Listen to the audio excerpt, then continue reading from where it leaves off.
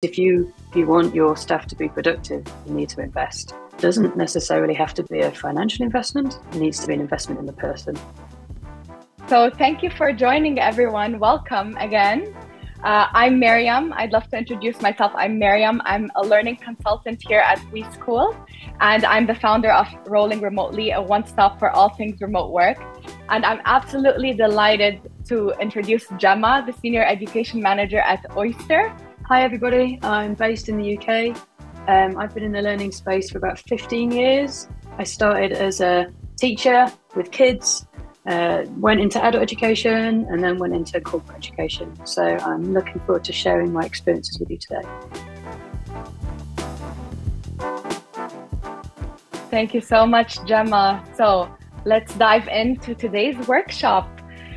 The landscape of onboarding new hires into organizations is undergoing a transformative change, as we can imagine. And thanks in large part to several factors like the advancement in AI and technology, a focus on employee development and progress tracking, and the shift to flexible employee centric workplace design. So, organizations are increasingly recognizing the value of investing in continuous learning and uh, growth opportunities. And we're going to dive into those uh, today. Before that, we're going to look at some stats. So, as we can see, a small number of employees believe that their organizations are doing a great job at onboarding, and 35% of companies don't spend any money on onboarding programs. Um, 33% feel more engaged in organizations that have effective onboarding we really need to focus on onboarding programs so that everybody feels involved and they feel like they're in a continuous learning uh, journey. So now I'd love to go ahead and start with the question to Gemma. Gemma, I'd love to hear your experience at Oyster. Um, do HR and team leaders work together on onboarding? And how do we encourage team leaders to engage onboarding in their new hires? So, so Maita, in terms of um, working together on onboarding. Um, and the space I'm in right now at Oyster, I'm eh, blessed by the culture that we have there because it's so supportive and so focused on well-being. So the, the team leaders working with people team kind of starts um, right from the point of when we have that new hire application, which I think is really crucial. Successful onboarding. I know we're here to talk about onboarding, but for me, it starts way back, right at the start, where you're looking for that new hire and you're creating that great candidate experience. So, in terms of kind of letting team leaders know that this is an expectation that they're going to be responsible for a, a proportion of onboarding, it's letting them know they're responsible for a proportion of new hire. That whole candidate experience, and when when the onboarding happens, people team have been there to support them through finding the right hire, and then the magic starts of of expectation setting for team leaders that now this person is with you, what are you going to do with them to make sure they succeed? So, in terms of encouraging team leaders to do it, for me, it starts with culture. Like, that's the foundation of everything. So, if you've got a foundation that cares, if you've got a foundation of, of well being, if you've got a foundation of like valuing growth, like then when your new hires are being planned for, the expectation of the team leaders is that these people are here to develop with your support. When I've when I've seen it not work is when people are under pressure and managers just don't have the time to create the caring space for that new hire. But again, it's kind of getting in front of that before it happens and spotting it and helping the manager like bit by bit chunk chunk a plan together, create an onboarding plan in a way which is manageable for them, in a way which is going to ramp up the person so that ultimately it's, it's worth the effort. Um, yeah, so generally yeah. for me, culture, if you get the culture right, and if people know that we value and well-being is important, then, then everything else kind of follows. long answer is hire managers that have the cultural fit for the organization is one way, like potentially controversial. If you've got managers in place that don't get it, and we have to make sure that we're aligned on the vision and, and the culture is right. So we need managers to be to be to understand the culture that we're trying to create, and we need to give them the tools to do that. So that might mean doing some manager enablement. But I, I think it's a partnership. It's not all on the team leader to do that. I mean, that's I mean, the reason that I'm really excited by the core week of onboarding that we have at Oyster is because everybody gets the same start, the same cultural briefing, the same vision, the same values. And in one way, that's great for everyone to have that core foundation. And another thing that's great is the managers don't have to do it because they're really busy and they've got their own stuff going on as well as onboarding.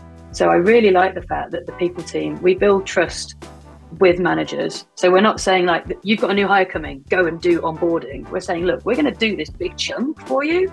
We're going to give you visibility of what that is, and at the end of day one, day two, day three, you'll know that they're equipped with this. So you can spend the first week getting to know them, getting excited, and if you need to change your plan for week two, week three, week four, you've got a bit of time. On to the next question. So, how do you think, Gemma, we can explain the importance of a return on of investment uh, of these onboarding programs to execs who may be spe- skeptical, so C-levels and? Ooh, I mean, the, the biggest thing for me is churn. Like, it costs a lot to hire the right person, so why would you not get the most out of them? If if you don't have an onboarding program, or you pile on the work too quick, you don't like intentionally plan how this person's going to ramp up, it's highly likely they're not going to stay. Or if they do stay, they're probably not going to be productive, and you may then have a more managed departure later on. Me is if you if you want your staff to be productive, you need to invest. Doesn't necessarily have to be a financial investment. It needs to be an investment in the person. Now we want to talk about how we can transform this employee onboarding experience into a learning pro- uh, process, and we need to recognize onboarding as a fundamental learning journey. So, to achieve this, uh, we can leverage this four step process centered around instructional design and also future proof training. Um, this framework is designed to focus on how adults learn, but also on ensuring you're hitting your company KPIs and cost efficiency. So, Camilla, we have four stages. We have flip the pre boarding process which is any time you use before actually having a live session. So it's the resources that we share with people. It's um, you know what we do on Slack if you're using it as a learning tool. Uh, so anything you share beforehand, and then you can go over with the manager in the onboarding process. Um, the second one is leveraging social te- uh, learning. So social learning techniques, which Gemma spoke about. Everything you do as a process, as a journey with each other. And then it's how we set and how we measure the KPIs. So measuring completion rates, engagement rates, hours of training, and quality. So this is everything we spoke about with post learning. Uh, how can we make our onboarding better? How can we develop it for the next time? Taking in all the feedback that people are telling us and the employees are sharing with us, and then how we can make this a lifelong process. So we want employees to feel like it's a journey. We want them to feel like they're fixing this with us and they're continuing this learning onto after the onboarding uh, process. Now on to question four, Gemma. Have you used social social learning techniques in your onboarding programs, and what were they like? From a, from a learning space that I'm from, social learning is absolutely crucial. The interesting thing for me is how you it the definition of social. So for some people, social might be this conversation, um, and that might be a really comfortable space for you to be in to learn. For other people, this might be a really challenging situation, especially when you're meeting new people um, as a new hire is going to be. So for those for those types of situations, it's how do we create a social learning space where everyone can flourish and everyone can have the chance to be vulnerable. A bit like all the thumbs down that we've we've had today. That's a really like it's so sweet to see people putting those out there. We want to create a social space when we learn that we can be honest. So in terms of what, what, I really love, I really love creating the one to one connection, building it to a a one to two connection, growing it to a one to three. I don't particularly um, enjoy the throwing people into a live session straight away because I think that's asking a lot. Um, what I really like is when you build a really tight set of connections from your first day and you grow your network and you grow your network and you grow your network in a way that you find comfortable. So, give you some examples. Um, mentors, someone who can be a role specific or role um, have a knowledge of the role that the new hire is doing and be like a, a, personal help desk. what you don't want to do as a new hire is have to draw on your manager all the time. You just you just feel like you're draining them, and you don't want to be draining your team because the last thing you want to be is asking them these tiny little questions. So actually, like having a, a mentor who is saying, look, any little question, even as tiny as like, how do I, whatever, I'm here for that. Secondly, buddies. I, I love buddies, cross department buddies, who can give you the opportunity to learn about how you socially enter a company. It's one thing to learn the behaviors of how I do this process and how I use this tool, but it's another thing to learn the social behaviors of how a company works. Especially like in Oyster, we're globally diverse. We're in over 70 countries um, and we're fully remote. So, with that, socializing is very different to how it might be if you're in an office based in one country. So, when we have a new hire, part of what they've got to establish is how do they socialize in, in this workspace? And buddies are great for that. So, having a, a mentor for the formal stuff and a, and a buddy for the social stuff, I think I think super powerful. And I, I did kind of talk about growing the social network. I also love it when we can do cohort onboarding because I, I love that learned experience together. So um, I, am not a fan of like jumping in and socializing straight away because I think that's, for some people that's quite a challenge. But when we can create a, a cohort based learning space, maybe a workshop, maybe an introduction to learning about um, a certain principle in the company that's org wide and people can have that shared experience, think that's really sweet too. Alongside that, async always. So, like, have a Slack channel wherever it is you communicate, have that constant async space. And if you're the learning person, like, be prepared to have to keep pumping that space with questions and polls and gifts and just letting people know that communication is really welcomed here. Um, yeah, so they're, they're like they're the biggies for me that I always try and think of every time. There are some cases where a webinar is great, like when you need to give information to people and give people opportunity to chat and ask questions. This is a great forum. There are other situations where a workshop or a more collaborative space. So I'm a, a most of the live learning I deliver is in a workshop format. And the reason I do that is because using a Miro board or a Jamboard or whatever it is, a, a virtual whiteboard, allows me to get information out of people's brains onto sticky notes, which I really value. And it sounds very old school, but sometimes um, asking people to talk about their opinions that's going to take time especially when you've just started you've either got positive bias or you've got like a fear in starting a new job or like the social challenges of having to talk to new people i really like getting people in a space where they can comment like build connections slowly through small breakout rooms, but for the most part, get their thoughts on a page, get them doing polls, get them voting.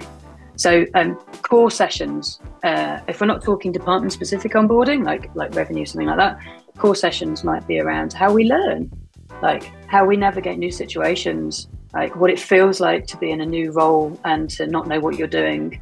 Like um, how, how does that feel? How do people approach that? Because the great thing about adults is we've all got experiences to draw from. Depends what you're going to be doing in the workshop. That's a oh, that's a spicy question. Um, thank you very much. Uh, like if I'm going to be doing something where I'm, I'm talking about a sensitive topic and I want to build trust, I probably want to keep that like kind of under 16 because then I can split people up into threes and fours. I like breakout rooms are usually my my um, calibration. So uh, I, when I'm talking about sensitive topics and I want people to share, I quite like to keep the breakout rooms threes, threes like fours at a max. Um, and my reason is uh, twos get awkward. Yeah. If you don't like, if you've got someone you don't get on with or you're not really sure, twos are awkward. Threes are a bit of a icebreaker. Um, sometimes four just is too many people trying to talk for the time you've got. Um, but in terms of how many people in a workshop, like we run them with 70, 80, 100, like like more the merrier. Um, I think it depends on if you want to give everyone a voice. What I what I definitely advise, like on the workshops that I run, where I've got like over fifty people, is I don't let people raise their hand and jump in. Um, which controversial opinion that might be. Um, the reason I do that is because as soon as we do that, it becomes the person who's got the voice gets their opinion across. So what I will do is design lots of opportunities to put your opinions onto a page So, what are the three essential signs or KPIs that show that an onboarding program is truly effective today? And why are they so important to you? I think I've mentioned one, and that's retention rate. Um, are people staying with the company past their probation period, whether that's uh, leaving of their own decision or leaving because of a performance management issue? Right? if onboarding's right, we should be setting people up to succeed. Um, another measure of that is performance management. Like if their performance is um, uh, at standard, how like is it above standard? Is it is it below, but just a little bit? Like how whatever your performance management cycle is, can you trigger that to happen at the end of like uh, for example at Oyster we have a 30, 60, 90 day plan, and at 90 days you get a full performance review. Like that performance review data is super super important to grab hold of and to see where people are performing above or below role. I guess the other thing is is engagement and participation in the program. Like my my example here that I like the manager who on the first day of the new hire says to their new hire, "Don't worry about onboarding. Just get in. Just like you'll learn it all on the job." Like, please no, like give people time and space to ramp up and like to, to give value to onboarding we want managers to go whoa don't have any work yet. The onboarding program is intentionally designed for you. So like getting sentiment from managers about their perception of onboarding um, potentially controversial opinion feel free to disagree chat but i'm not a massive fan of um, engagement information sentiment from participants. Yeah so um, if you ask if you ask a new hire how was your onboarding they're probably going to go, it was great. Because they've just started and they're like, yes, this is, I've got a job. I'm so happy I'm here. But what you actually want to know is, how was your onboarding process? Like, did you feel welcomed? Like, did you feel like you engaged? Did you want to do the task? Do you feel like you're prepared for your job? For me, these are all questions that if you ask them at the end of the process, it's yeah. really hard to get a fair view. If you can go back six months later and say, now you've had a bit of time, like, did it do the job it needed to do? That's really useful. But I find when you like, if you do a tick sheet, a survey at the end of an onboarding process, it's generally everyone is very happy because they're just so stoked to be there and to start their job. In any situation where I'm trying to influence, uh, speak their language, not yours. So find out what the conversations are at C suite. How are things presented? What is the data that they're consuming on a regular basis? And find out if your information can be presented in that way. Usually it's usually it's finances which do the talking. So talking about attrition, talking about churn, talking about what will happen if we don't do this, that's probably going to be more powerful than the other side, which is what we can do if we do do this. Um, I, I, sometimes think the risks um, presented in the data format are a really strong way of making the case. My, my take my take is is we it, like in general we need to be moving onboarding to a more flexible and personalized place. So there is only so long we're going to be able to get away with this is your onboarding program. Off you go. Like the new generation that's coming through have had as much content as you could physically consume and more and they've had it when they want it. They're used to information being there when they want it and they're used to a frictionless space to go and get it so, like number one, we are probably going to be moving towards assessing people more before they come into a role. That might be during the candidate process. Um, take, for example, if someone's going to be working in a, a fully remote company and they've never worked remote before, we're in a position now where we've got so much content, we can assess their remote working capability and then give them some more specific modules around how to get them up to speed, whereas someone else might not need that. So there's the customization piece. Like the learning person in me says that they're also probably going to need to learn about friction in learning. Um, and this is this is a proper learning moment. Is that I, I think information is so readily available, and it can be frustrating when you can't find it. Um, so I think there's a position where we're going to have to slow people down a little bit and let them know that it's normal to have to work on something as you join a new organization, to have to work to to learn because they've like they've been in an environment where things have just been available so easily. Um, so that's going to be an interesting challenge. I mean, I, I mean, AI is being touted as the solution to so many things. It may be that AI is there to help people walk through that, maybe there are other suggestions, more more human based suggestions. But yeah, I'm really intrigued as to how our programs are going to have to adapt um, over time.